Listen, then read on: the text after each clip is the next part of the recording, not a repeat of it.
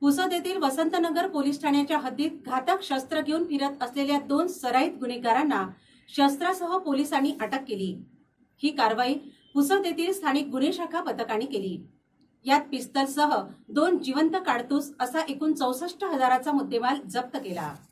शेख अख्तर शेख मुख्तार राहणार रामरहीम नगर जब्बार खान उर्फ काल्या मजिद खान पठाण राहणार मधुकर नगर.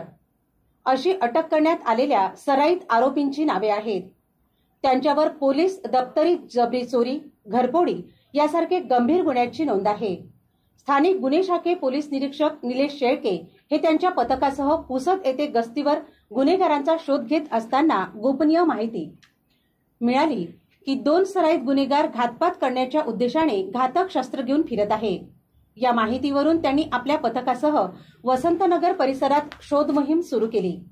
दरम्यान वाशिम रोडवरील भोजला टी पॉइंट जवळ यातील सराईत गुन्हेगार शेख मुख्तार हा दुचाकीवरून एका युवकास घेऊन जात असल्याचे निदर्शनास आले.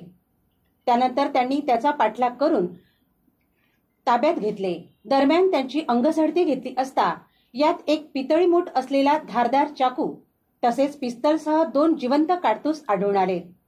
यात पोलिसांनी पंचासमक्ष मोबाईल दुचाकी घातक अग्निशस्त्रासह एकूण चौसष्ट हजार पाचशे रुपये किमतीचा मुद्देमाल जप्त केला.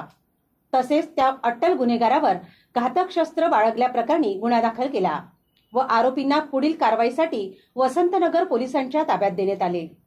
ही कारवाई जिल्हा पोलीस अधीक्षक एम राजकुमार अपर पोलीस अधीक्षक नुरुल हसन स्थानिक गुन्हे शाखेचे पोलीस निरीक्षक प्रदीप सिरस्कर यांच्या मार्गदर्शनाखाली पोलीस उपनिरीक्षक निलेश शेळके फौजदार गोपाल वास्टर मुन्ना आडे पंकज पातुरकर मोहम्मद ताज आदी कर्मचाऱ्यांनी केले.